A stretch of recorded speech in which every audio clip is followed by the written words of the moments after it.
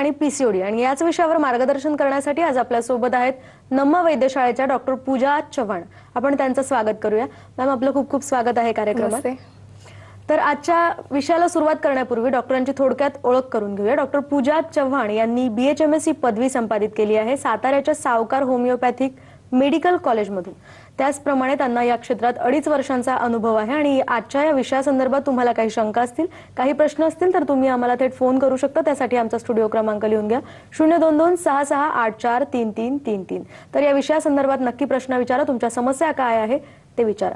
तर मॅम पुन्हा एकदा आपला खूप खूप स्वागत आहे. आजचा आपला विषय मी सुरुवातीला सांगितल्याप्रमाणे थायरॉइड आणि पीसीओडी म्हणजे हा ही जी समस्या आहे हे जे आजार आहे सध्या बळावत चाललंय. बऱ्याच प्रमाणात यांचं प्रमाण वाढतं दिसतं आहे. आणि मुलींमध्ये साधारणतः आणि महिलांमध्ये साधारणतः हे जे प्रमाण आहे ते वाढतं आहे. तर नेमकं थायरॉइड आणि पीसीओडी हे काय आहे आणि त्यांचे प्रकार कोणकोणते आहेत ते सांग. ओके? मला बेसिकली सांगायचं आहे की पेशंट्सला किंवा फिमेल्सला वाटतं की मला थायरॉइड आजार चालू झालाय किंवा थायरॉइड मला आहे. सो थायरॉइड हे नवीन कोणताही आजार नसून ते ऑलरेडी थायरॉइड नावाची एक ग्रंथी असते. ती आपल्या मानेमध्ये म्हणजे की मानेच्या पुढील भागामध्ये सिच्युएटेड असते. सो तिला आम्ही किंग ऑफ एंडोक्राईन ग्लँड असं म्हणतो. म्हणजेच काय? की डोक्यापासून ते पायापर्यंत जे काही चेंजेस होत असतात जे काही हॉर्मोनल चेंजेस होत असतात ते ती ग्लँड कंट्रोल करत असते. दुसरं आपण बघतो की पीसीओडी. पीसीओडी म्हणजेच काय? की पॉलिसिस्टिक ओव्हेरियन डिझीज पॉली म्हणजेच काय? की भरपूर. सिस्ट म्हणजेच काय? एखादी पाण्याची गाठ किंवा फोड येणे. तर ते कुठे येत असते? तो ओव्हरीजमध्ये येत असते. सो त्याला एखादी झालेला आजार म्हणजे आपण बघतो की डिझीज ठीक? सो हे थायरॉइड आणि पीसीओडी दोघेही एकमेकांमध्ये इंटरकनेक्टेड आहेत बिकॉज ते दोन्ही हॉर्मोन्ससाठी मोठा इम्पॉर्टंट रोल प्ले करत असतात. सो ह्यांच्यामध्ये कुठेतरी बिघाड झाला तो आपल्याला दिसून येतं की कुठेतरी थायरॉइड स्टार्ट झालाय किंवा पीसीओडी हा आजार स्टार्ट झालाय. आणि आजकालची जीवनशैलीमध्ये आपण बघतो की पेशंट्स भरपूर सिडेंटरी लाईफस्टाईल जगतायत. म्हणजे की फिमेल्स त्यांना आजकाल स्वतःकडे लक्ष देण्यासाठी वेळ फार कमी आहे. सो कुठेतरी मुलांमध्ये लक्ष जास्त देत आहेत स्वतःकडे कमी देत आहेत मग कुठेतरी स्वतःची जी डायटरी हॅबिट्स आहेत किंवा सिडेंटरी लाईफस्टाईलमुळे एक्सरसाइज कमी पडत आहेत सो हे यामुळे आपण बघू शकतो की हे आजार नक्कीच उद्भवत आहेत नक्कीच. या आजारांचं प्रमाण महिलांमध्ये आहे असं तुम्ही म्हणालात. तर थायरॉइड आणि हे जे पीसीओडी आहे ते महिलांमध्ये जास्त प्रमाणात दिसतं. आणि तुम्ही म्हणाल्याप्रमाणे साधारणतः आपण जे डेली रुटीनमध्ये बिझी असतो व्यस्त असतो त्यामध्ये आपल्याला वेळ मिळत नाही. तर ह्याची लक्षणं आपण कशी ओळखू शकतो? थायरॉइडची लक्षणं कोणती आहे? आणि पीसीओडीची लक्षणं कोणती आहे? जसे की मी सांगितले की थायरॉइड हॉर्मोन आहे ते टॉप टू बॉटम म्हणजेच केसापासून ते पायापर्यंत सगळे हॉर्मोन्स ते कंट्रोल करत असतं त्याप्रमाणे जशी की केस गळती किंवा केस पांढरे होणे त्यानंतर आपण बघतो की विजनमध्ये कुठेतरी कमी दिसणे नाईट ब्लाइंडनेस होणे. अंधुक दिसणे कलर ब्लाइंडनेस होणे त्यानंतर आपण बघतो की ऍक्ने येणे तोंडावरती जास्त पिंपल्स येतात. त्यानंतर इथे मानेच्या पुढील भागामध्ये ते सिच्युएटेड असल्यामुळे त्याला सूज आली की आपण म्हणतो की गॉयटर हा आजार चालू झालेला आहे. नंतर आपण बघतो की पचनक्रिया कुठेतरी मंदावते जास्त भूक लागते किंवा वजन अचानक कमी होते वजन वाढतंय. त्यानंतर आपण बघतो की पिरियड्समध्ये इरेग्युलॅरिटी येते पिरियड लवकर येत आहेत किंवा उशिरा येतात. जेव्हा ते येत असतात तेव्हा कुठेतरी पोटात जास्त दुखतं किंवा कमी दुखतं. अच्छा तर या प्रकारचे लक्षणं आढळतात. मॅम आपण पुढेही काही चर्चा करू पण आपल्याला एक फोन येतोय जळगावहून अ, वीरसिंग जाधव यांचा. सर विचारा काय समस्या आहे?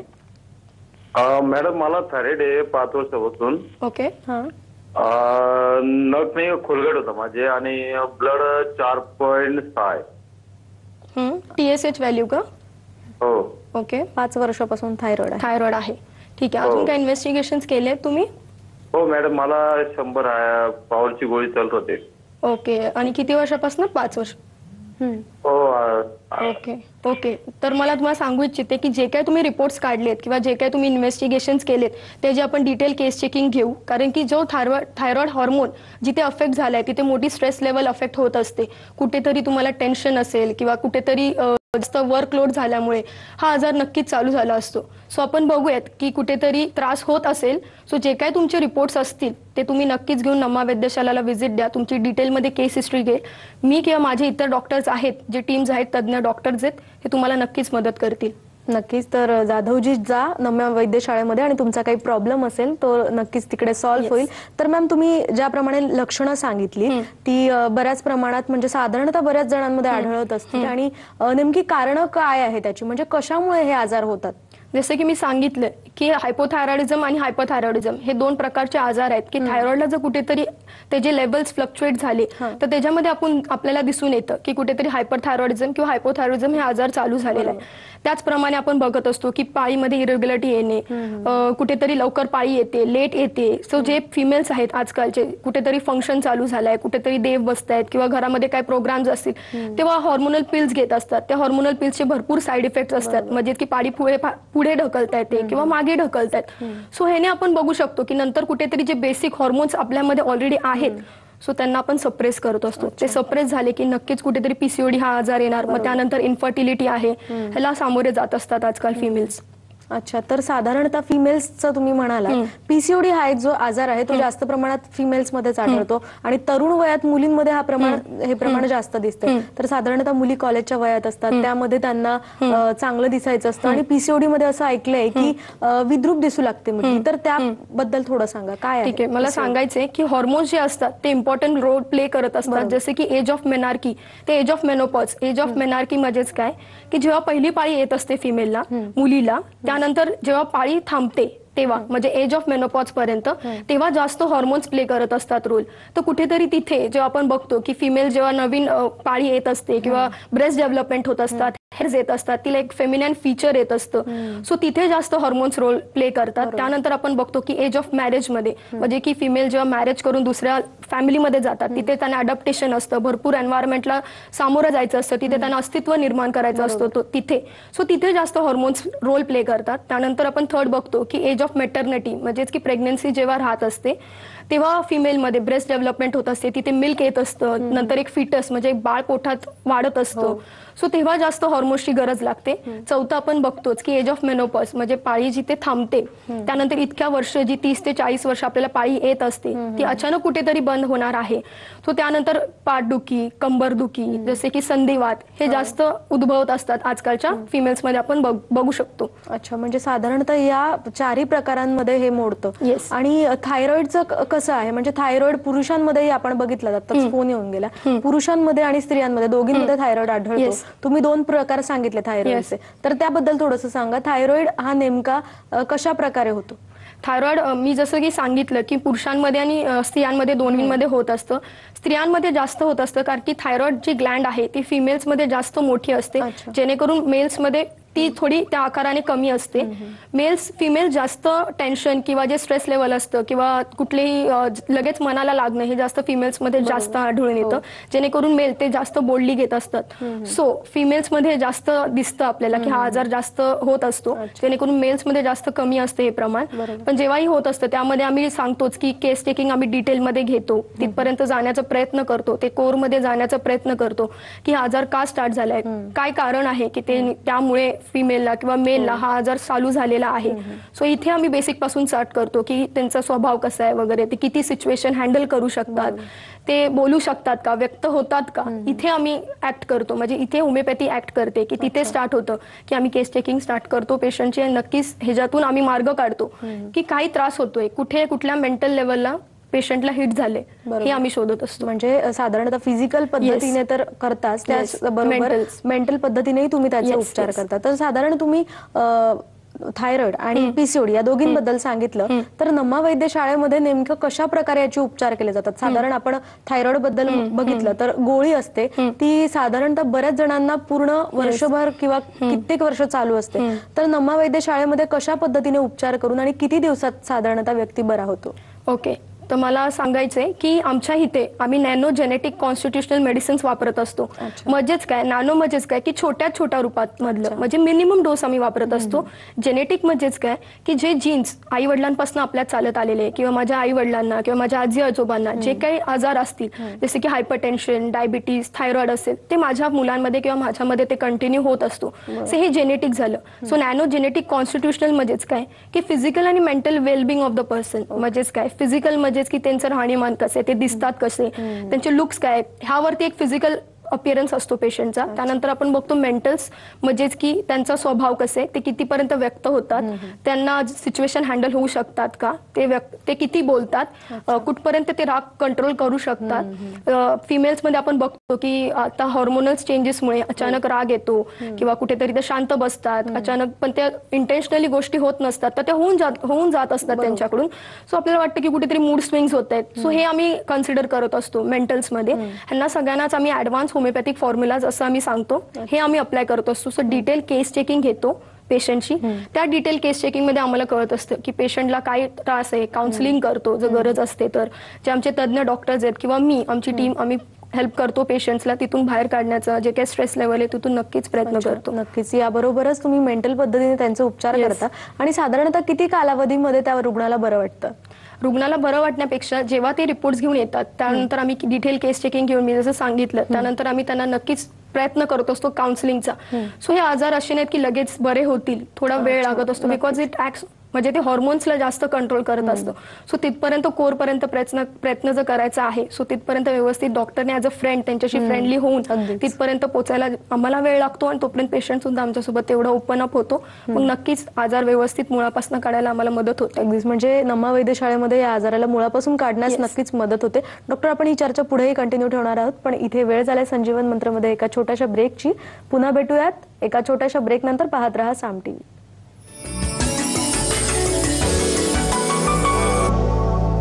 ब्रेक नंतर संजीवन मंत्रमध्ये तुम्हाला सगळ्यांचं पुन्हा एकदा स्वागत. आपण चर्चा करतोय थायरॉइड आणि पीसीओडी या आजाराच्या विषयांवर. तर आणि आपल्यासोबत आहेत नमा वैद्यशाळेच्या डॉक्टर पूजा चव्हाण.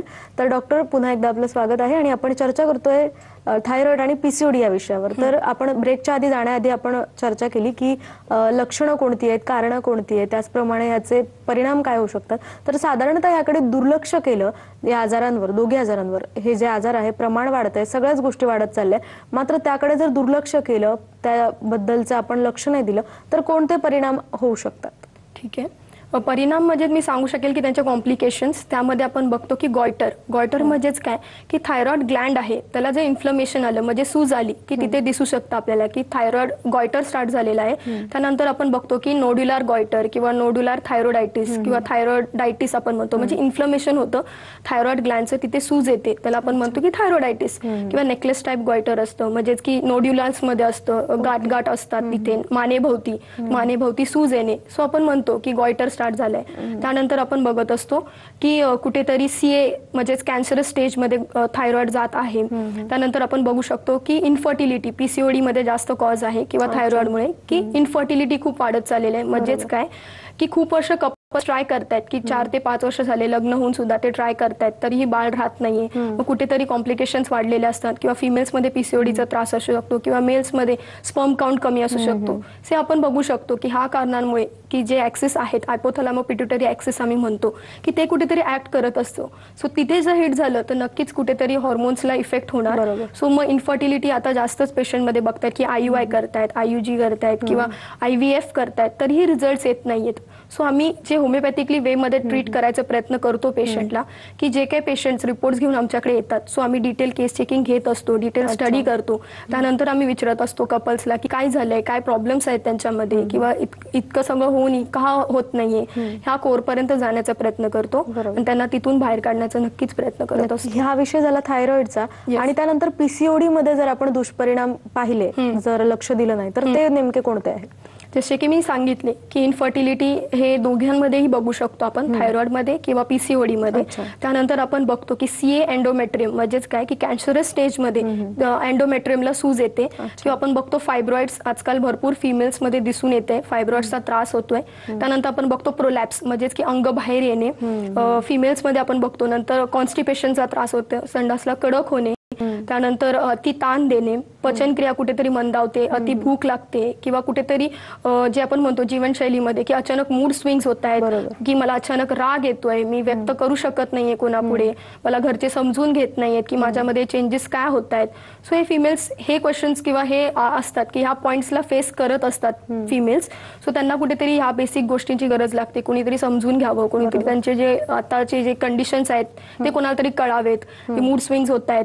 ते कळावेत. नंतर संधिवात आपण बघतो की ऑस्टो अर्थरायटिस किंवा रुमॅटेड अर्थरायटिस आहे हे पेशंट्स म्हणजे जास्त दुखते पाठ दुखते कंबर दुखते. फिमेल्स कंटिन्यू स्वतःकडे लक्ष न देता जे काही आता सिडेंटरी लाईफस्टाईल झाली आहे त्यांच्यामध्ये तो कुठेतरी ते मिल्क इंटेक आपण म्हणतो की घ्यायला पाहिजे त्यांनी. ग्रीन लिफी व्हेजिटेबल्स घेतले पाहिजेत. ते होत नाही त्यांच्याकडून. जे एक्सरसाइज केले पाहिजे जे वर्कआउट त्यांनी केले पाहिजेत ते होत नाही त्यांच्याकडून. दुसरं आपण बघतो की धावपळ इतकी आहे त्यांची की मुलांच्या मागे पळतायत किंवा कुठेतरी जॉब प्रोफाईल आहे तिथे पळतायत. कुठेतरी बर्डन आहे जॉबचं. जॉब कुठेतरी पोचायचंय ह्यासाठी कंटिन्यू त्या धावत असतात. तर ते धावता धावता ते कुठेतरी स्वतःकडे लक्ष कमी देतात सो ह्यामध्ये आपण बघतो की हॉर्मोन्स त्यांचे कुठेतरी फ्लक्च्युएट होत आहेत. बरोबर. तर साधारणतः मूड स्विंग्स मुलींचे चेंज होतात असं. तुम्ही म्हणालात. किंवा इनफर्टिलिटीचे सुद्धा मोठे प्रॉब्लेम्स आपण यामध्ये बघतो. तर साधारणतः नम्मवैद्य शाळेमध्ये रुग्ण आले असतील तर बऱ्याच मुलींना किंवा महिलांना हा किंवा पुरुषांनाही हा आजार असेल तर साधारणतः तुम्हाला काय कॉम्प्लिकेशन्स आले? बऱ्याचदा मुली उपचार करायला तयार नसतील. त्यांचे मूड स्विंग्स चेंज झाले. तर तुम्ही कशा पद्धतीने त्यांना उपचार देता? ओके. आम्ही त्यांची काउन्सिलिंग करत असतो. काउन्सिलिंग म्हणजेच काय? की आम्ही त्यांना विचारत असतो की का त्रास होतोय? कुठून त्रास चालू झालेला आहे? हे त्यांच्या पॅरेंट्स सोबत ते आले असतील तर आम्ही त्यांना बाहेर ठेवून किंवा त्यांच्याकडे जे जे आम्हाला काढून घेता येईल ते आम्ही त्यांच्याकडून विचारून त्यांच्याकडून आम्ही जे कोर पर्यंत जाण्याचा प्रयत्न करतो की काय एवढी मेंटल इफेक्ट झाले की कुठून आजार चालू झालेला आहे? ह्यापर्यंत आम्ही पोहोचण्याचा प्रयत्न करतो. जे फिमेल्स आहेत ज्या मुली आहेत कॉलेज गोईंग त्यांना जास्त अभ्यासाचा टेन्शन किंवा स्ट्रेस असते वर्कलोड असतो. सो ते आम्ही विचारून घेत असतो की काय एवढा त्रास आहे? डिटेलमध्ये केस हिस्ट्री घेत असतो. त्यानंतर आम्हाला कळत असतं की पेशंटला काय झालंय त्रास. त्यांचे रिपोर्ट्स काढून बघतो की एफ एस एच किंवा जे प्रोलॅक्टिन इस्ट्रोजन प्रोजेस्ट्रॉनचे लेवल्स आहेत ते कुठपर्यंत आहेत? त्यांना कुठेतरी त्रास होतोय का? ते कुठेतरी इफेक्ट होत आहेत का? हे आम्ही बघण्याचा प्रयत्न करतो. हे बघून आम्ही ठरवत असतो पेशंट्सला की इतके त्यांनी आतापर्यंत हॉर्मोनल पिल्स घेतलेत पायी पुढे जाण्यासाठी किंवा मागे येण्यासाठी लवकर येण्यासाठी. ह्यासाठी जे कंटिन्यू हॉर्मोनल पिल्स घेऊन घेऊन त्यांच्यावर जो मारा झालेला आहे ते कुठेतरी हॉर्मोन सप्रेस झालेले आहेत हे आम्ही बघण्याचा प्रयत्न करतो की कोणते टॅबलेट्स घेत होत्या किंवा कुठले आता कंटिन्यू करताय का? तर हे जे जे कॉम्प्लिकेशन्स त्यांना नंतर काय होतील हे सुद्धा आम्ही त्यांना सांगत असतो. सो नंतर आम्ही हेच गाईड करतो त्यांना की कुठले टॅबलेट चालू ठेवले पाहिजे म्हणजे त्यानंतर ते उपचाराला तयार. तुमचं म्हणणं. तर साधारणतः पीसीओडी मध्ये तुम्ही म्हणालात की विद्रूप जी महिला असते किंवा स्त्री असते किंवा मुलगी असते ती विद्रूप दिसायला लागते किंवा ब्रेस्टवर सुद्धा केस येतात आणि बऱ्याच प्रमाणात वजन वाढतं. तर या व्यतिरिक्त आणखीन काय लक्षणं आहेत वेगळी? वेगळी लक्षणे म्हणजेच की आपण बघतो की फिमेल्स आहेत त्यांना मेल टाईप हेअर्स येतात म्हणजेच की फेशियल हेअर्स येतात. त्यानंतर ब्रेस्टच्या इथे केस येतात किंवा जे आपण बोलतो मानेभोवती काळपटपणा जास्त वाढतो. किंवा आपण बघतो की आवाजामध्ये हस्कीपणा येतो बॉईस टाईप आवाज येत असतो फिमेल्समध्ये.